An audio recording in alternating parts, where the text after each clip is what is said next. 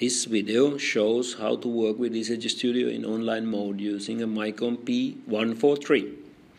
Connection is made to front port using RS232 cable and serial to USB convert. Window create the instance each time the cable is connected. The COM port number can be checked with Device Manager. It may change in next connection.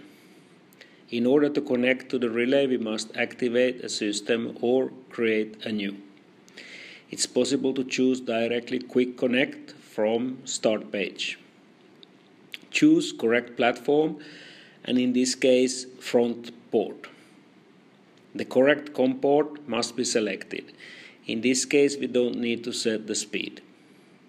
If connection is established, Relay will answer with its identifications and create a new device into the project. Each device has a connection definition. This will be automatically configured when using Quick Connect. Notice that within one system, relay name must be unique, and if the relay ID is identified with the serial number, it can be inserted twice to the system.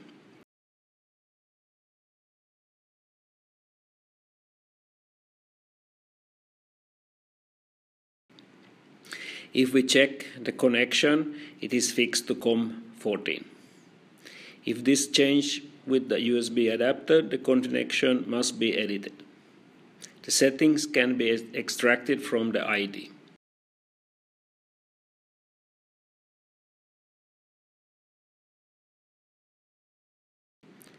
Password is by default 4 times capital A. A new setting file is created. Name starts from 000. Double clicking on the file, it will open the setting menus. As example, let's change plant reference setting by right click and select edit value.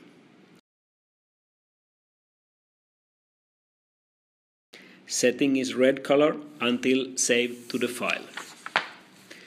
We also need to send the change to the relay, choosing from upper level all parameters sent or also only the single parameter can be sent.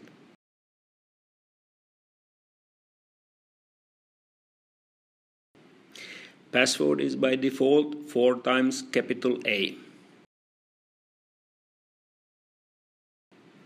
Let's edit the parameter again, but this time we don't send a change to relay.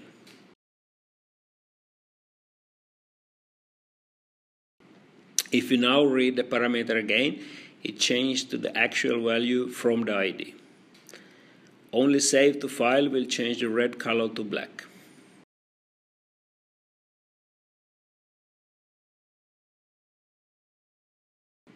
It is also possible to send the whole setting file to Relay. Then right click on the name and choose Send.